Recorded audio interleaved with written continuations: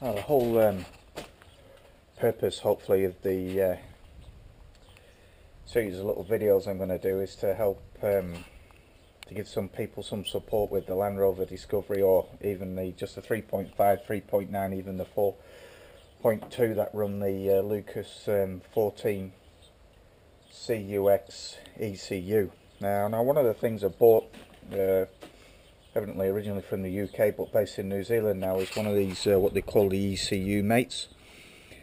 Uh, an absolute fantastic piece of gear because what it actually does is is um, take the guesswork out of what the potential issue might be with your engine. Um, we've all done it. We've all gone Google Google 3.9 or 3.5 uh, high idle low idle rough running. And there's a whole host of information out there which is um, is good to uh, give you a pointer on what might be the issues with some of these uh, machines. Um, they're a good engine, they're over 3.5.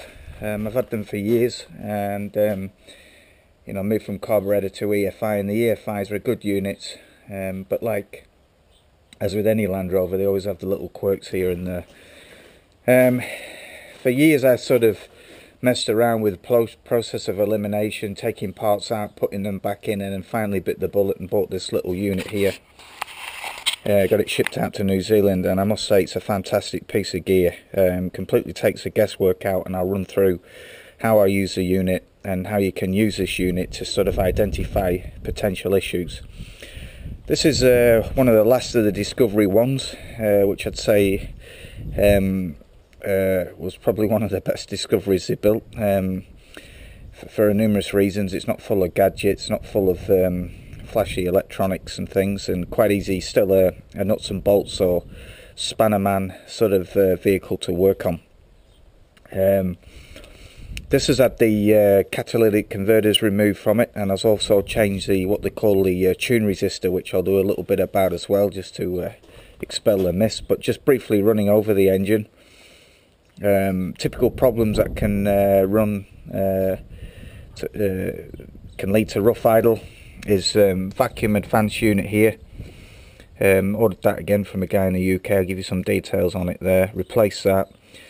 Um, dodgy uh, distributor cap, rotor arm, leads, plugs and things like that. So um, the ECU mate won't tell you if these units aren't working properly or not but what it does do is it focuses on the main electronic feeds into the ECU such as the airflow meter which we have here throttle potentiometer which everyone you hear talking about and round the back as well which you see a lot of discussions on is the um, uh, idle uh, control uh, valve. Um, also tells you what your yeah, your fuel's doing your fuel pump's doing and a couple of other units. So one important unit amongst others is this little thing in here which manage, uh, men, uh, measures the temperature of your fuel.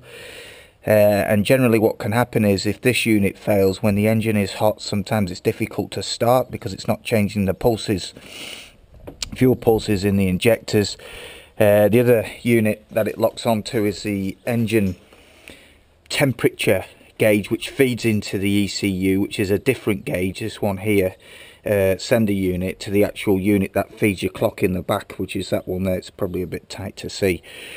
Um, so what I'll do is um, talk through some of the issues that you may come across uh, with these. One of them a big one is is um, over a period of time these engines um, uh, the actual plenum chamber as they call it gets dirty inside and it doesn't do it any harm I think to take it off and give it a really good clean.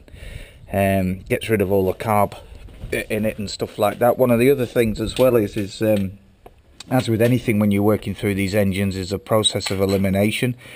Um, you have a little vacuum unit at the back here, uh, which controls your um, fuel injection system. Again, they can fail. Not come across one, me personally, but what generally tends to happen is is that these little vacuum hoses that are all running from the plenum chamber and various bits and pieces can get splits in and leaks, and that can cause no end of trouble in terms of rough idling. So as you can see on this particular unit, I've replaced a lot of these hoses. It doesn't do any harm to do so. One of the other things I've done is, is that it often gets overlooked as your breather unit here. That comes off one of the top of your um, rocker box covers.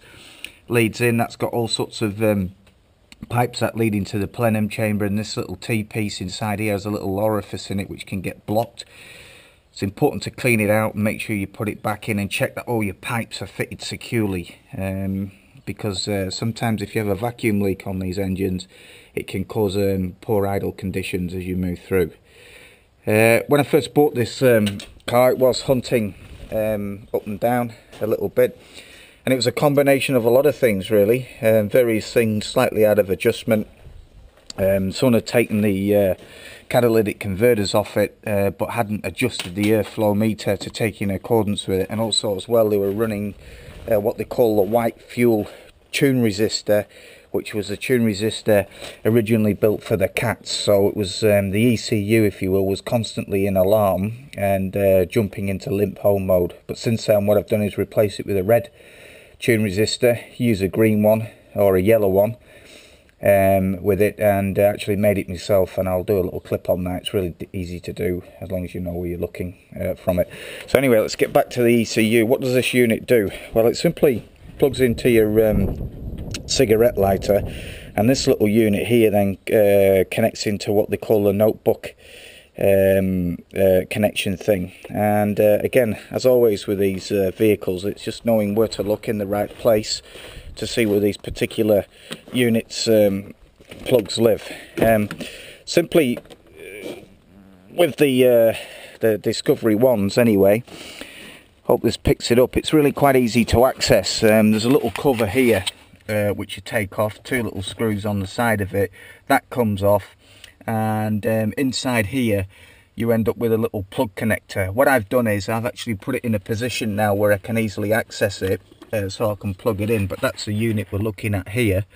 And um, basically what this does is plugs into the um, ECU mate. Put it into your cigarette lighter which powers it up then um, it's actually looking into your uh, ECU uh, box and then reading whatever codes are in there. And also providing you quite a lot of information um, in terms of temperatures, what the gauges are doing, things like that. I actually think that this little unit's very good for that because um, it's much better than just giving you a code. Uh, what it's actually doing is giving you real life information about the engine and it lets you know um, what the particular sensors are doing, whether they're working and what they're reading and uh, you can use other means then to uh, check that the information is, is accurate. Um, again, it just takes away the process of guesswork uh, from it. Quite simple to use uh, once you get familiar with it. The other thing I will say is that it actually gives, um, on the internet you can download what I would say is a fantastic user manual. And uh, going through the user manual, it's a step-by-step -step, um, uh, document that um, explains actually what the ECU does and what the various um, components of the uh, sensors feeding into it does and also gives you some scenarios what might be causing possible faults. So um, I actually think it's a really good document and credit to uh, Steve there for uh, putting this together and the unit itself. Uh, I find it really valuable um, uh, piece of equipment. So um, like I'm sort of speaking and videoing this myself so I'm not too sure how it'll look uh, as we go through. But what I'll do is um, this particular unit that I've got here this 3.9 is running really nice now. Um, I've sort of uh, reset the uh, the errors replaced a couple of faulty um, uh, parts that were throwing up codes here. One of them was the um, idle uh, the air idle control valve and the other one actually was the fuel temperature sender gauge uh, and that's made a big difference to the machine. The other great thing about this unit as well is it actually lets you reset your um, uh, uh, idle control valve and I'll just show you that here in in here. This unit here so sometimes what can happen is you can buy a new unit replace it and your ECU um, um, has trouble uh, adapting to it and it, it, can end up causing you more problems than what you've actually started with. But what the ECU mate does is let you control this unit and um, preset it adjust it basically mess around get your idling good with it and then reset all the values and then that's it plugged in into the loom. Uh, simple little unit to replace and I'll run through that um, uh, as part of the clips. But what I'll do for now is I'll just plug in the ECU mate and um, start the car up.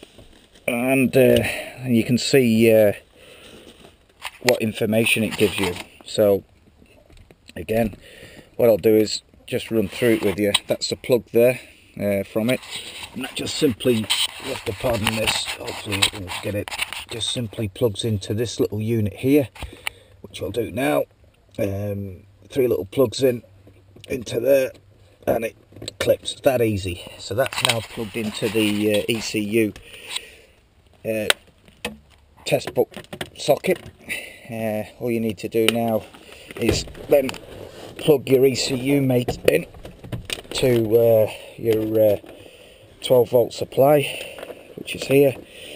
And uh, basically what happens is when you turn your ignition on to start with into your AC C position. Uh, it just powers the unit up but it won't read anything from the ECU because you've not got any power to it. So just goes through a little self-test mode.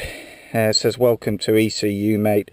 Passed OK and then uh, what it'll do is it says ECU power up test waiting for ECU so it'll come up here in a minute with um, not reading it uh, shortly uh, because I've not got the ECU actually turned on so I just press next um, I'll just turn that on now. You can just press run and what it'll do is connect to your ECU and then uh, display any fault codes if there are any uh, showing uh, on your unit um, with it.